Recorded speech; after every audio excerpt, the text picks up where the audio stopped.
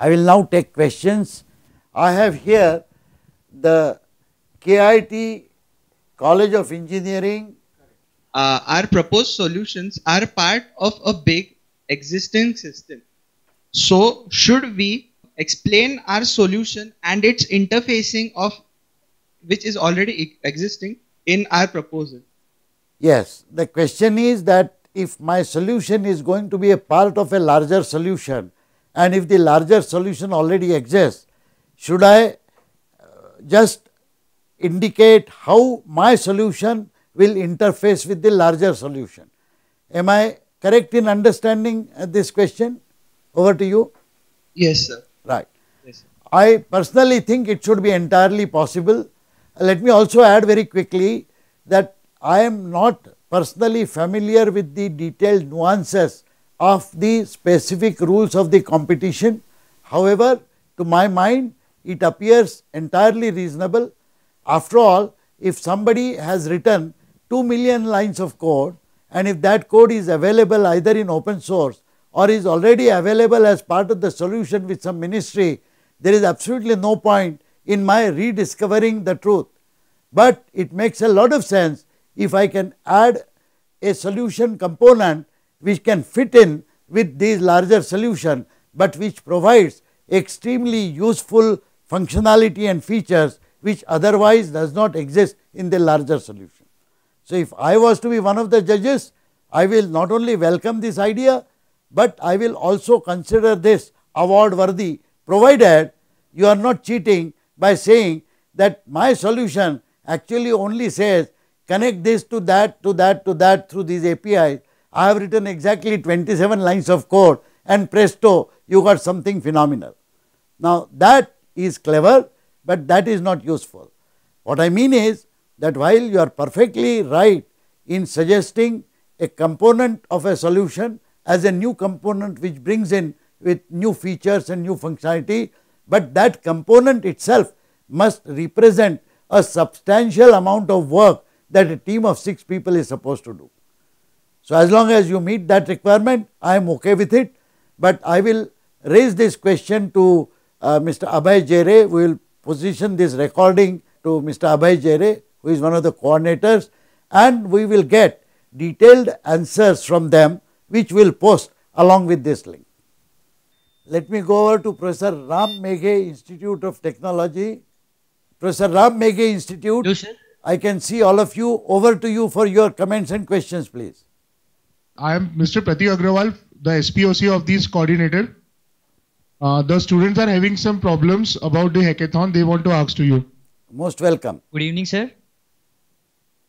Sir, my topic is the lack of information on research and development available to public on on a single portal. So, sir, my question is how to fetch the particular field from institutes database which have informations regarding research and development on this portal. If you find a solution to this problem, please let me know because we are also struggling to find out precisely this information. I am actually working on a larger project from Ministry of Culture called National Virtual Library of India. A colleague and friend of mine, uh, Dr. P. P. Chakrabarti, who is also the director of IIT Kharagpur and his colleague Professor Das are working on Digital Library of India and they are also finding it extremely difficult to collect and collate all the information. They are constructing only library information, but we are constructing larger information and it is not easy to find the kind of information that you suggest. Unless all institutions make such information available on their website through the links which can be searched by anybody, to get this information is not very easy. What you may have to do is you may have to suggest a mechanism for these institutions to design their websites appropriately. But till such thing happens, you will have to be satisfied with whatever information you can get by crawling the web. That is the only suggestion I can make. Of course, there is a larger technical problem which you will have to solve. But as I said, it is a hard problem and if you get a solution, I will be personally thankful if you let me know how you have solved this problem. All the best. Any other question please? Thank you, sir. Good evening, sir. Actually, my question is what exactly we should mention in the dependencies section? Uh, that's a good question. Uh, my guess is that the dependency section will depend upon the kind of problem that you are solving. To my mind, it immediately appears that if my solution depends upon, let us say, certain stack or certain software components which must be made available, they must be listed in that dependency section. If my solution depends upon some other solutions that have been already prepared, as was asked earlier by a remote center, that I am making only a part of the solution and there are other solution components, then I must mention those in my dependency. However, I will park this question with Mr. Jere and his team because they are in the best place uh, to answer this question. Thank you for raising this. We will get this answer in a short while uh, from the organizers. Good evening, sir. My question is, I know we are going to get two or three days to prepare our code or program, but can we do it before the hackathon starts? This is another good question. So basically, can you have a ready-made code? So let me just try to evolve this answer. Number one, if I know the problem exactly and completely in advance, then why I cannot write the entire code? Go to the hackathon and within 5 minutes announce that I have the solution with me, please accept it and I will enjoy my tea coffee and I will actually sleep for 36 hours. So how would you respond to that? I'd make sure that he writes the code within that 36 hours and not before it. No, I, I don't think that is the right answer. The right answer, I believe, is for hackathon organizers to actually pose a specific problem to be solved during the hackathon and announce it at that point in time. Otherwise, it will amount to you doing the project completely beforehand, which actually you must attempt to do. Whatever you know about the problem and the solution you must prepare. But to my mind, the hackathon will comprise of doing something special, something additional during those 36 hours, which you will be able to do only if you have done enough coding work, enough preparation work and practically solve the problem as you see it now on the websites. But there will always be an element of surprise that will be given to your team which you will have to do during the hackathon time only. Do you agree with that?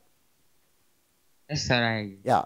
So, what I will now do is I will pose this question also to Mr. Jere and ask him simply this. I will rephrase your question and I will say I am the team leader of a team from Professor Ram Meghe Institute of Technology. I hope you won't have problem in admitting me as a student if I apply. So, if I am a student from your college and a leader of a team, I will tell him that I have chosen a certain theme, I have chosen a certain problem and I have solved the problem completely even before I come to the hackathon. So, when I come to the hackathon, is it all right with you if I just submit that code and I will assure you that my team has written all that code spending a lot of time in a preparatory phase. Will you give me an award if I submit my answer in 5 minutes? Obviously, he will say no. Then I will ask him, you have to tell me what exactly I will have to do for 36 hours so that I am mentally prepared and I also prepare my team members to do that kind of work correctly during that 36 hour time. Is that okay? Good. No, sir. Yeah, thank you. There was another question quickly.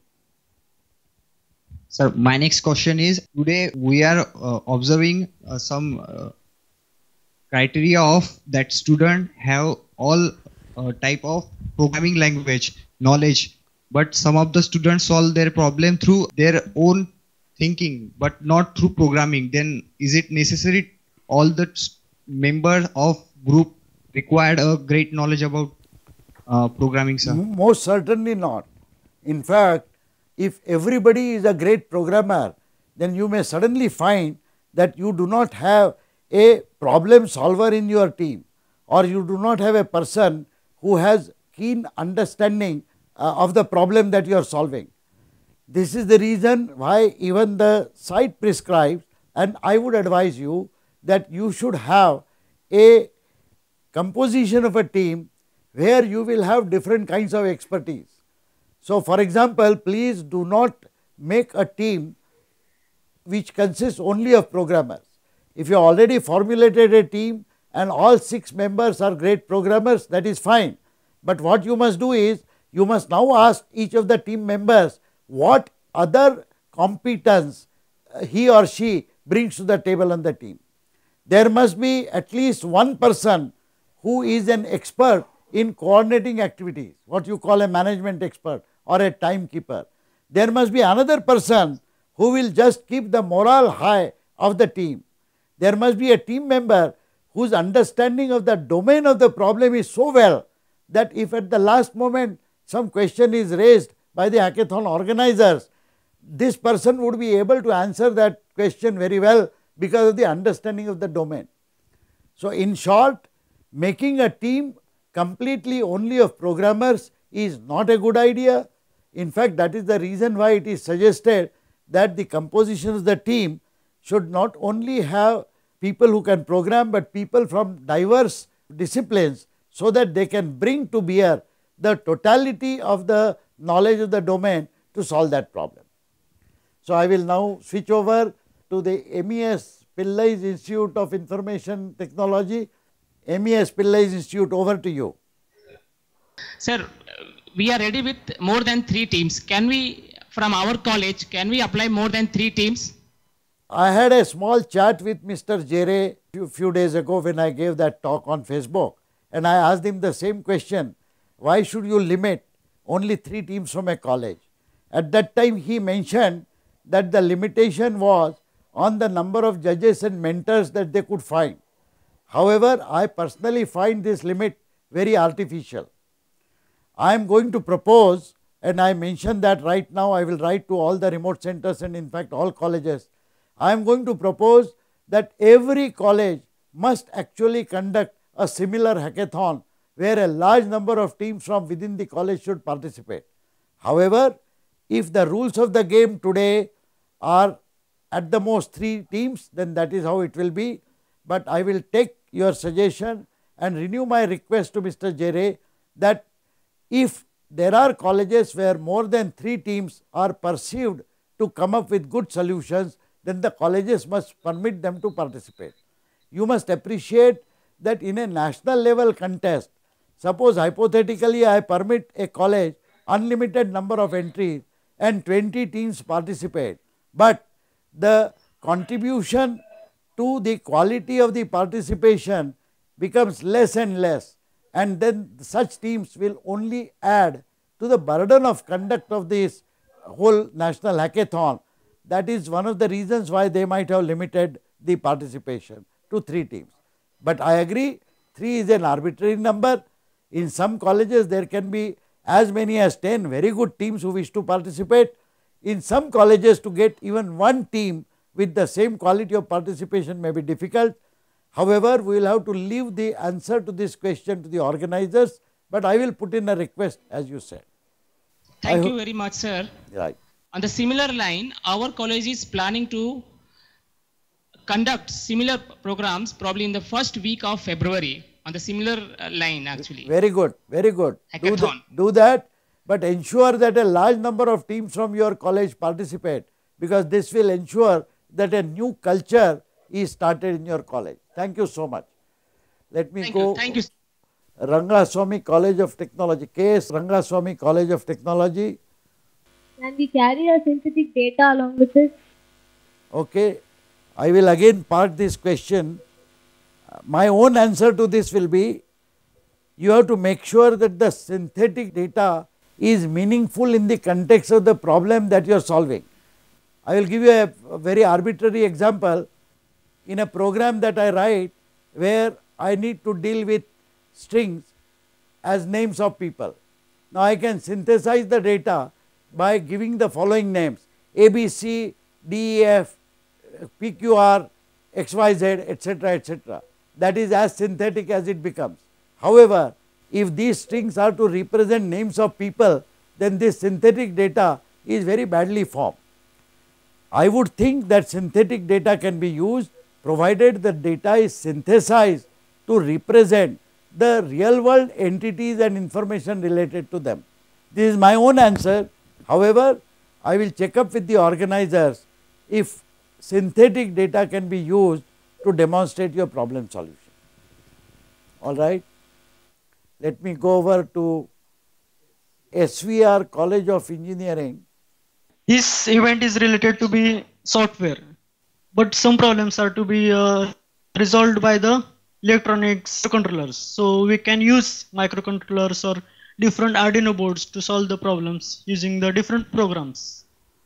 Uh, what you are suggesting is that there are problems whose solutions will require some kind of additional hardware such as embedded systems as Arduino boards or whatever. Personally, I do not see any reason why you cannot include such components in the solution. Again, I am not adequately knowledgeable about the exact rules of the game that have been put by the organizers, but I will definitely get this question answered.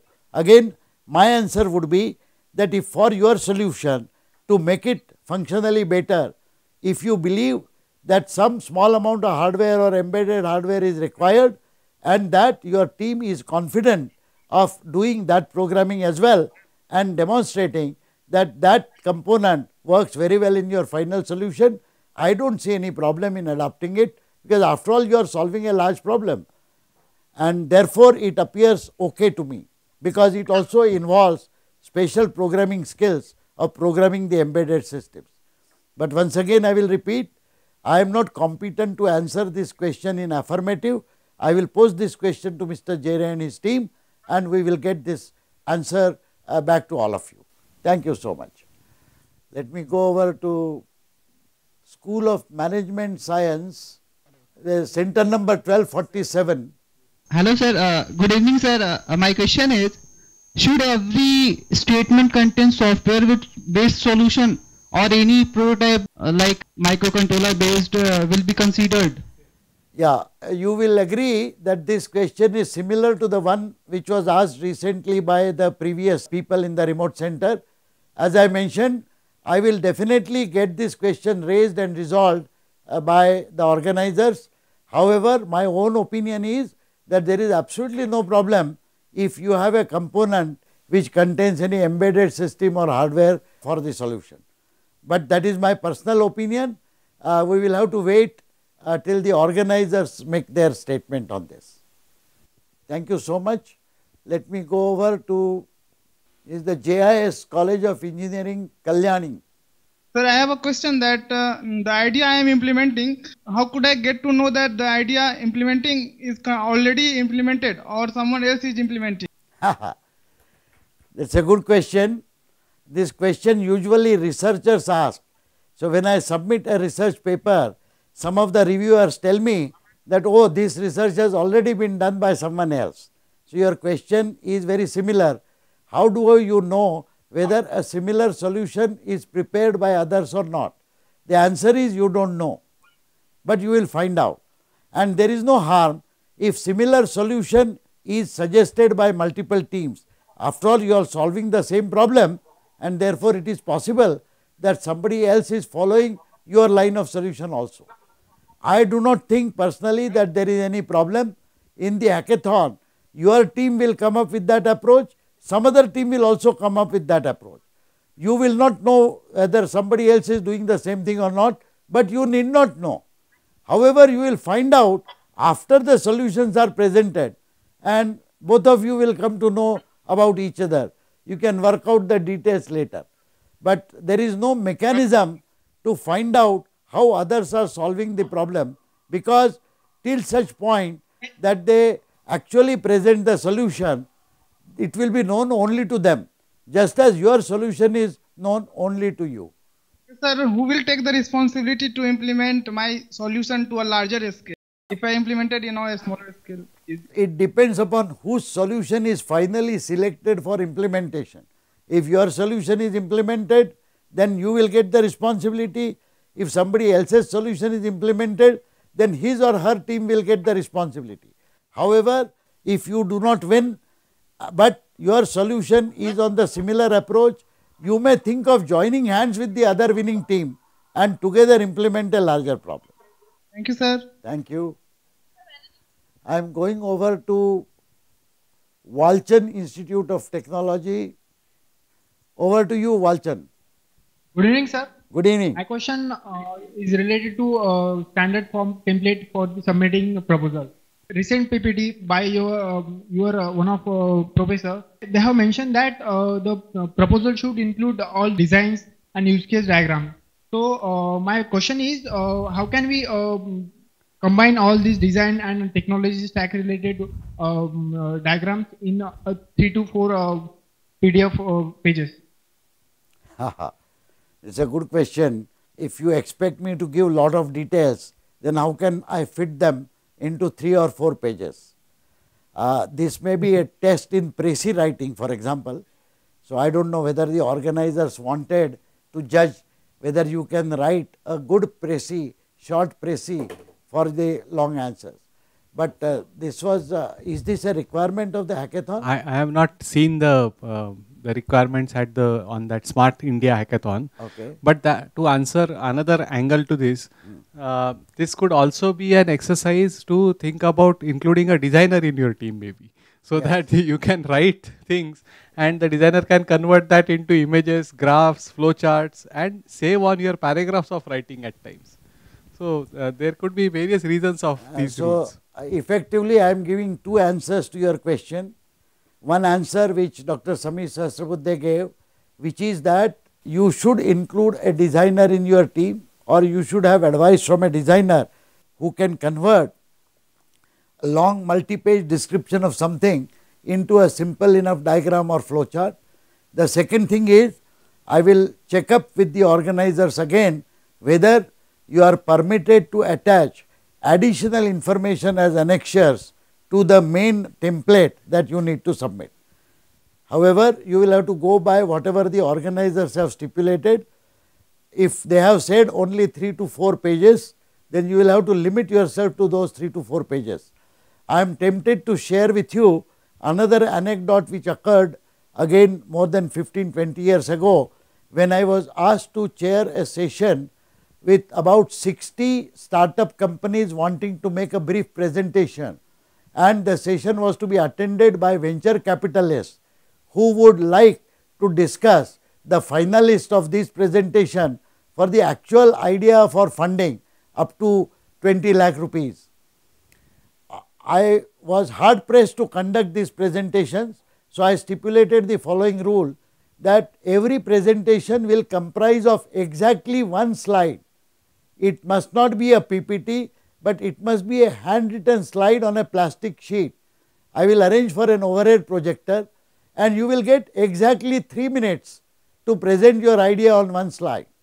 Many people objected saying how can I present my brilliant ideas in only 3 minutes and my answer to that was the venture capitalists who are going to sit there are going to judge you also by your ability to interest them and if you cannot raise interest in their minds in 3 minutes then you will not get 30 minutes or 3 hours with them at all. So, your ability to convey everything that you need to convey make it attractive and do it in a very short communication is also an important ability. Perhaps the organizers want to test this. Of course, they are giving you much more than one slide and they are giving you much more than 3 minutes equivalent of writing material. I think you should be able to do that. However, as I said, I will raise this question to the organizers again and ask them to issue either a clarification or a substantiation saying, substantiation saying that this is exactly what they expect you to do. And as Dr. Sahasrabudhe said, either a designer or a good technical writer should be part of your team. Ask someone to become that person by learning about how to compress your presentation without missing out on any significant detail and yet providing enough information in a precise form. So, that is also an exercise in itself. All right. Thank you, sir. Thank you. R.C. Patel Institute. Hello, sir. My name is uh, Vaishnav Mundada. Um, I would like to ask you uh, if you want to make any kind of model, uh, short model, um, and if we are short with the components or any kind of stationery, uh, will it be provided uh, by you?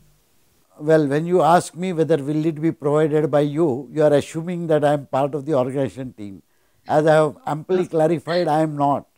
I am actually a supporter of the great scheme and as a teacher in IIT Bombay, I thought I will engage with students precisely so that they can articulate such questions which I can combine and send to the organizers. But let me give you my answer to it. If your solution requires some stationary items which are very peculiar, why you should not bring those items with you?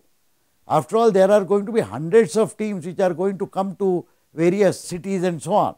Now, if I am the organizer and if I have to cater to such individual requirements of every team, will I be able to manage that at all? I think whatever are the special needs, those needs must be met by the respective teams only. I do not think that the organizers will be able to give you anything more than the space in which you will participate in the hackathon and probably some connectivity and such thing. But any special needs that you have, so I do not suggest that you carry a truck full of material with you, but whatever material you need to solve that particular problem during the hackathon, I am afraid you yourself will have to carry it with you. I have no doubt that the organizers will say no to this. Thank you.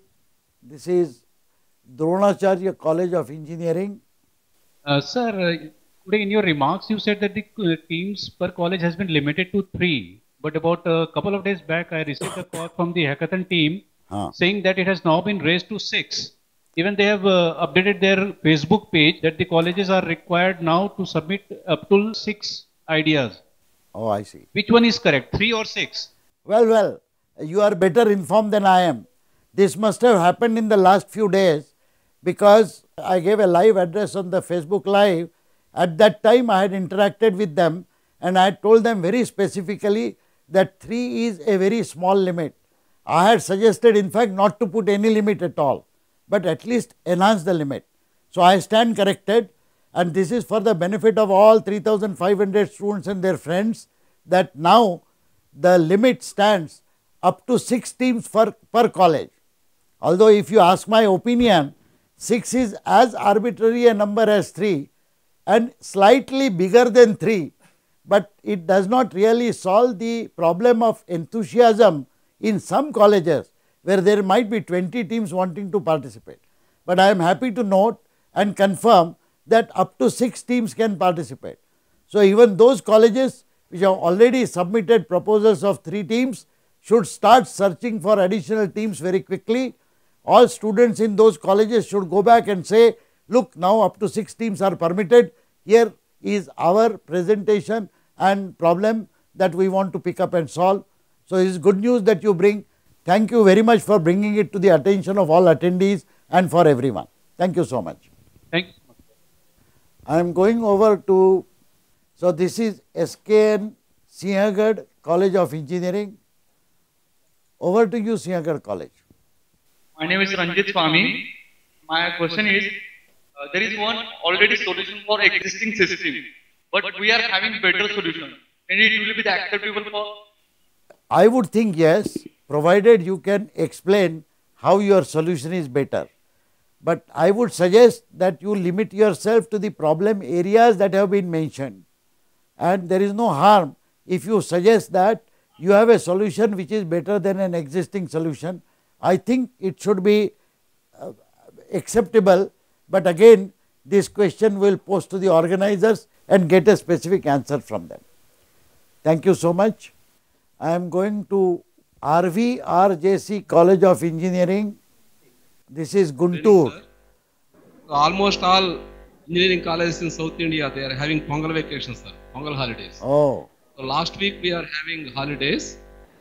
Even just two to three days before holidays, we have received notice about the formation of teams. So I request you to extend the date for submission of projects by the end of this month. Uh, I will use the words that you have used, namely that almost entire South India is having Pongal vacation. Now, I am sure that the government of India cannot ignore the entire South India. So therefore, I will use these terms to the political advantage for all of us and I will request that instead of just saying please extend the date, I will say that a large number of colleges in the country have been unable to participate because of the Pongal holidays and therefore the date should be suitably extended. I will make that appeal personally and I will personally talk to the chairman AICTE today evening itself request him to extend the date. But thank you for giving Sir, me a very good a- reason. As a key person for this uh, activity, that means remote center activity, Yes. so I request you to visit our institution Oh, so that yes, we yes. can invite faculty from other engineering colleges and uh, I request you to motivate faculty of our college as well as neighboring colleges Well, your presence. Thank you. That's a small digression from the hackathon subject, but I appreciate uh, your wish and I am thankful for that. I will definitely try to come to Guntur in one of these days. Uh, let me go over to the Prestige College of Engineering. Over to you, Prestige. Sir, my question is, can one team submit proposal for more than one theme? Oh my God. I mean, this is the first googly that I have to face. Can one team submit solutions for more than one problem? Please note that each problem is considered as one unit. So, if one team has to solve two problems, you have to make two submissions with the same team. Now, my question is if the hackathon for one theme happens in city A and hackathon for another theme happens in city B, how your team will simultaneously be present in city A and city B? So, my suggestion is sir, now, now that up to 6 teams are permitted, quickly create another team, share your solution idea for the second team with them and let them participate. I think one team with one theme is what is intended. So, let us not disturb that model, but encourage other friends of yours and colleagues to participate in the hackathon uh, by sharing with them your idea.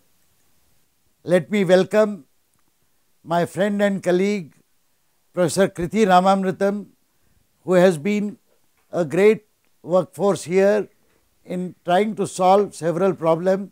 He heads our Center for Urban Planning and he is of course a renowned professor of computer science.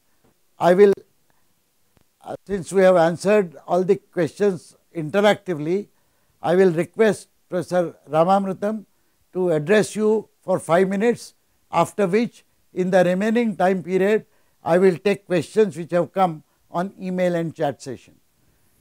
Krithi, welcome. So, I guess you already heard from Chaitra and uh, Kumaresan, Professor Kumaresan about the hackathon that we ran here. We had a fairly productive one week of uh, preparation and finally the hackathon itself. So, you probably heard from them and saw the excitement in the, in the face of the people who participated. Um, I'll take you through one particular example of a product uh, or a product idea that came from the hackathon. So, I'll tell you what the problem is. Now, suppose you want to figure out a way to reduce your energy bill, your electricity bill at home or in your office or any space, for example, what do you do? Today at home, if you take that instance more specifically, there's a meter that somebody comes once a month to read and you get a bill two weeks after that saying your total electricity bill was so many units and the cost per unit is so much and then you pay the electricity company the amount that is demanded. You have no way of knowing what, what constituted that, that many units. Sometimes you question the electricity board and they come back with an answer sometimes satisfying your needs or your, your uh, query. Some, most often it just goes by and you pay the next bill and keep going. So what these people did was to come up with a way by which to uh, minimize the, the trouble of reading the meter so that you can read it from far.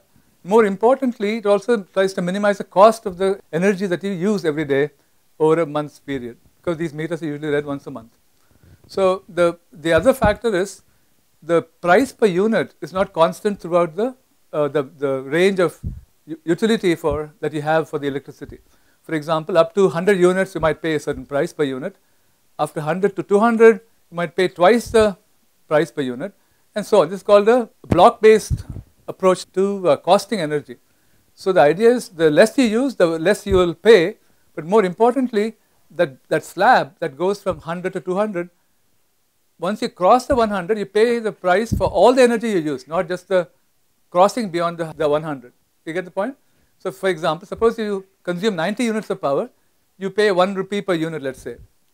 For 120, because you cross the barrier of 100, you pay for 120 units twice the amount, 2 rupees per unit. So what this means is that if you cross 100 units of consumption, it costs you humongously more per unit once you cross that boundary. So all of this is the, the reason behind this particular invention or the idea. And the second thing was that they wanted to have a user-friendly interface to the smart meter. And this means that for, you, for example, when, you, when you're close to coming to that 100 barrier, it will send you a message. Maybe at 90 units of consumption, it will come back and say, uh, you know, you're about to cross the, ba the barrier of 100, start reducing your consumption per day. That might be helpful for you to, to bring down your electricity bill per month.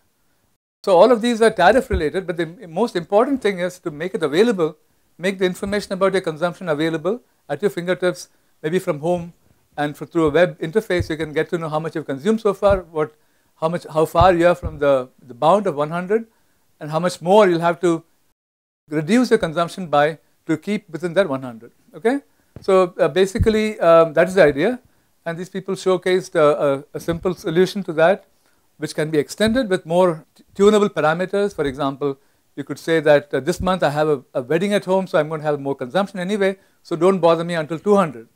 So things like that could be programmed from small cell phone or your laptop or whatever and that flexibility gives you the ability to launch this in multiple places. For example, a huge building manager could use this to find out who is consuming what in which part of the building and tell people in those parts of the building which are, where the consumption is high to reduce the consumption and so on. So it's, it's a very flexible method that they've come up with and that's why they won the prize because they also show how it can be constructed, how it's useful, what the benefits are and so forth.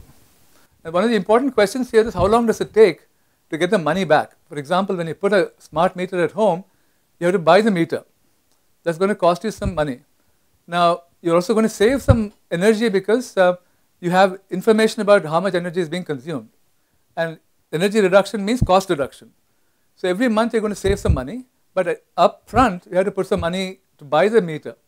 So this payback period, as it's called, how many months do you have to continue to use the machine, to the, the meter, to get your money back that you put in initially, it's called a payback period. They calculated it to be some two years, I think, if I remember correctly. Smaller that period is, more attractive the solution is. So you should come up with solutions for any such um, a product which, ha which has a, a small or low payback period. Smaller it is, the more attractive it will be. Of course, the more features you add, the more cost you have to incur. There is a certain uh, balancing act you have to perform. This is where innovation comes in you ask the question, can I add one more feature without adding too much cost to it? Because that will improve the sellability of the idea and the product also will go places. Okay, that's basically the idea. And uh, this is going to be happening more and more. In fact, we can buy today in the market a smart meter as it's called because it gives you the ability to control your life, your, your consumption in this case. And these are about 9,000 rupees a meter. And um, with um, a meter like this made in India, the cost becomes even uh, less and more attractive to use smart meters at home and not wait for a, a, Western product to come at a lower price. So that's the attraction of such products. So I wish you good luck in developing such things through hackathons and other um, outlets, but keep going at it because a lot of problems staring at us, around us, and it's important to address our problems ourselves because outsiders can solve the problem, it will cost us more, and so we have to get used to developing products for ourselves which are cheaper and also as effective as the products from elsewhere.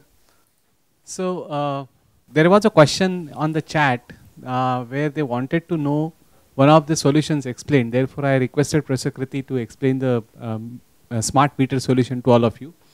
Uh, you can post in any other question if you have, uh, which are related to actual hackathon and not the uh, the Smart India Hackathon, which is happening next month, because that is something administrative question which we won't be able to answer right now.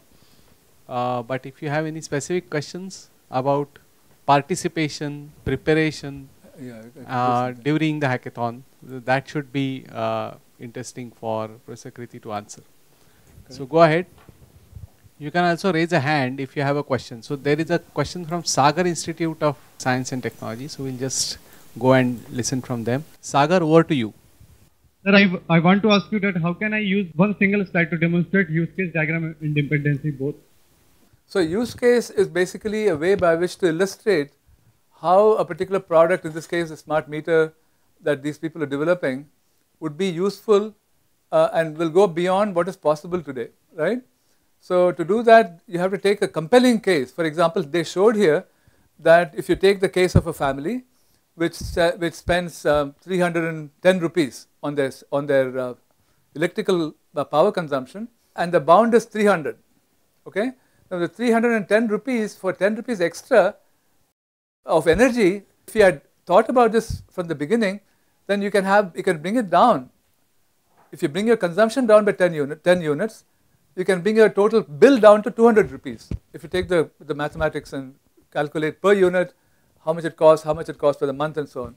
So that's a use case because it shows you that if you had access to information about your consumption on a real time basis or even once a day basis, that's, that's sufficient for this purpose, for this use case, then you can, with very little extra information, you can get a lot of payback by having a way to reduce your consumption even more than normally meters allow you to do. Does that answer your question? Can we use more than one use case diagram?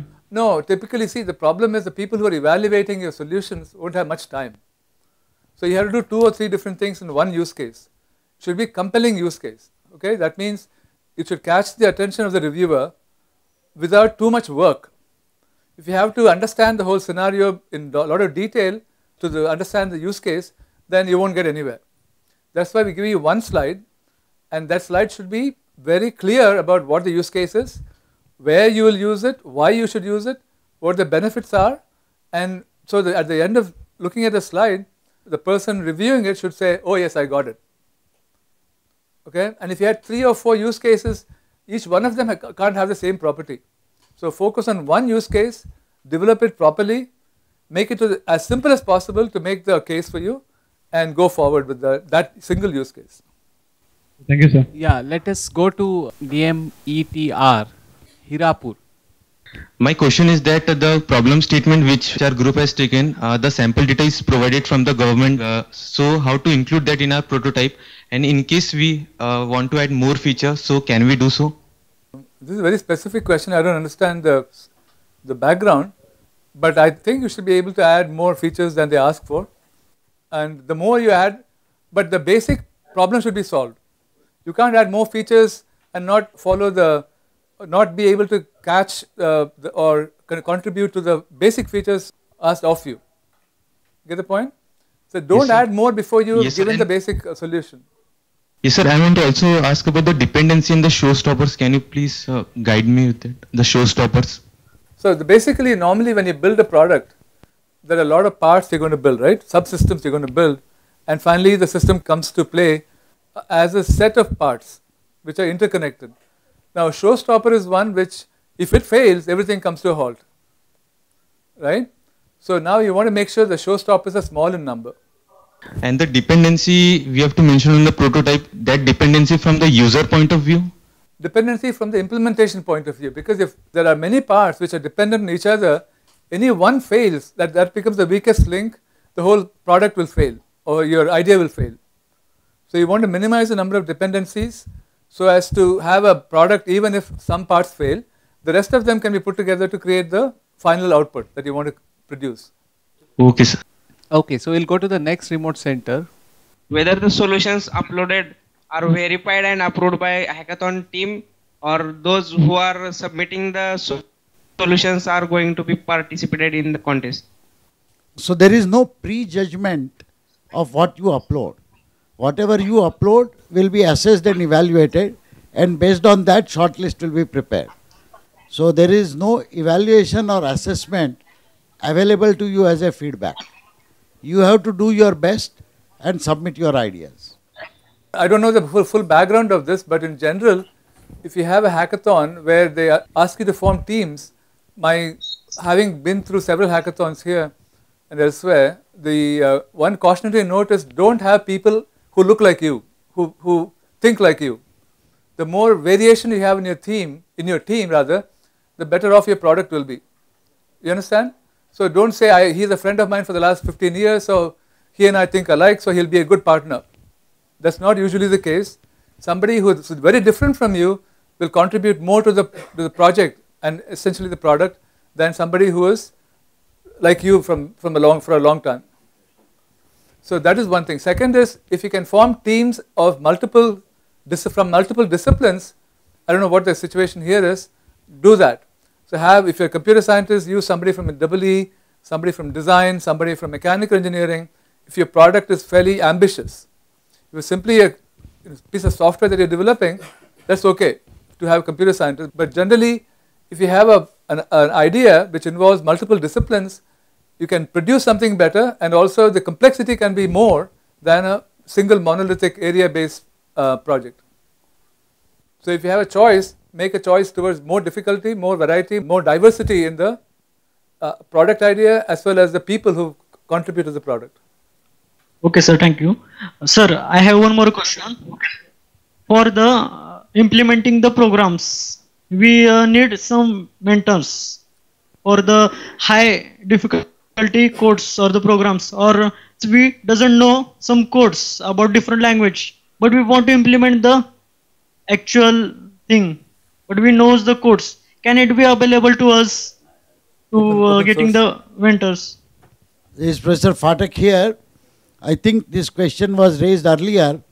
So, as far as the Smart India Hackathon is concerned, my understanding is that the mentoring will not be available to any team before you submit your idea.